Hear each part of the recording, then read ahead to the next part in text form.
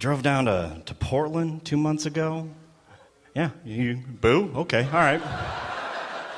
that place that's near this place.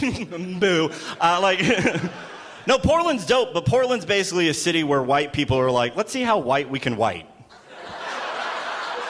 let's just really lean into our kookiness. I don't, I don't get how it functions as a, as a city.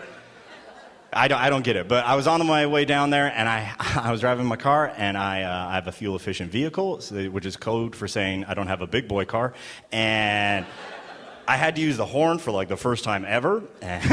I didn't know it sounded that way. Uh, yeah, yeah, yeah, I didn't know. So I'm, I'm driving, I'm, I'm driving, I'm, I'm being swift, and I'm in, uh, I hang out in people's blind spots kind of all the time. You're not supposed to, you're not supposed to, but I do it all the time because I like to feel sneaky.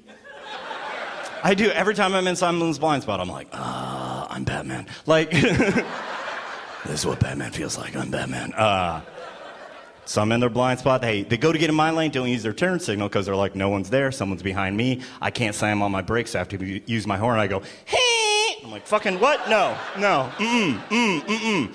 Mm. I went thousands of dollars in debt to have that sound maybe be the last sound I make on this planet.